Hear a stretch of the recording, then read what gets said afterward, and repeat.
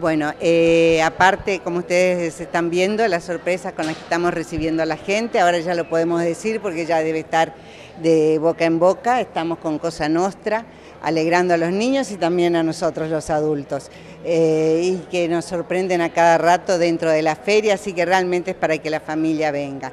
Por otro lado, eh, informo, digamos, a la comunidad de Puerto Iguazú sobre todo y al resto de la provincia que este año nos hemos animado y estamos eh, certificando la feria.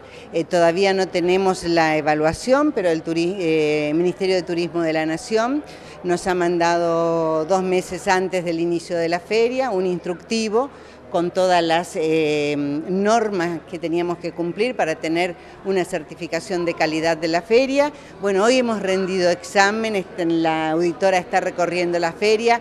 Estamos optimistas, obviamente no tenemos la nota, pero es una de las actividades complementarias importantísimas poder certificar la feria en cuanto a la calidad en la organización, el bienestar del afiliado, eh, la seguridad del... Eh, visitante, la mm, transitabilidad para el visitante, em, la sustentabilidad ambiental de la feria, todas las normas de, seguridad, ustedes ven que tenemos una ambulancia para casos de emergencia, así que ese es uno de los puntos que estamos eh, desarrollando en este momento. Y el sábado, como ustedes habrán visto, acá se está presentando los prolegómenos del resultado final que va a tener el programa de diseño activo que surge a través de la firma de un convenio entre el Ministerio de Cultura de la Nación y el Ministerio de Cultura de la provincia. Y que bueno, nosotros hemos tenido digamos el, orgullo, nos satisface haber podido eh, lograr esa conexión, porque primero nos conectamos con la gente del Ministerio de Cultura, con los trabajadores de la cultura, con gente del MICA, del Mercado de Industrias Culturales, llevaron la propuesta a su ministerio, nosotros llevamos la propuesta al ingeniero Jacobo, cuajó y en este momento, después de una selección sobre más de 120, 150 artesanos, han quedado 38 artesanos que están trabajando sobre una familia de productos netamente con identidad misionera.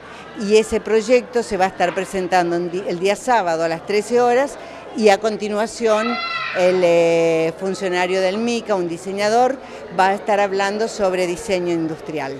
Esas sobre, perdón, sobre diseño y artesanías.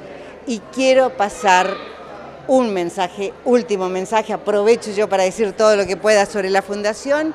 Eh, tenemos el orgullo de comunicar que hemos sido seleccionados, el taller de lanas de misiones, que organiza la Fundación Artesanías Misioneras, que se lleva a cabo en Fachinal, Profundidad y Tacuaruzú, también con apoyo también de la Facultad de Artes y otros organismos, pero que lo hemos iniciado a través de la Fundación, va a estar en la Feria Bianual, de Diseño de Madrid, España.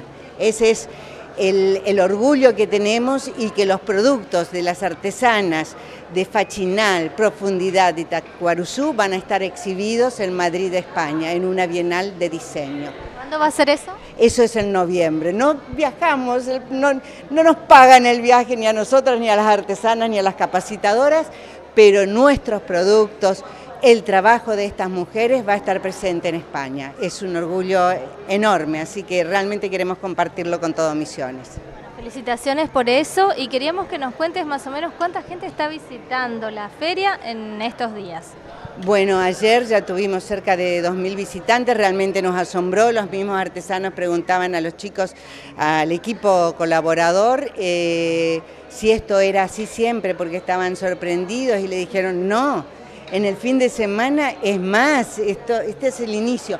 Pero es cierto, para ser el primer día tengo que reconocer que hemos tenido, eh, y ser un miércoles, no un jueves, hemos tenido una cantidad de visitantes superior, muy superior a la previsto, no solo en cantidad de visitantes, sino también en eh, compras. Hemos estado viendo que las bolsitas unificadas es importantísimo porque visualmente uno ya ve cuando la gente sale con la bolsita de sus compras. Hemos estado usando el Postnet, que es un servicio que les damos a los artesanos, y han estado facturando por cifras bastante interesantes. Tenemos miedo que se sin productos. Así que eh, esa es la situación. Excelente, gracias.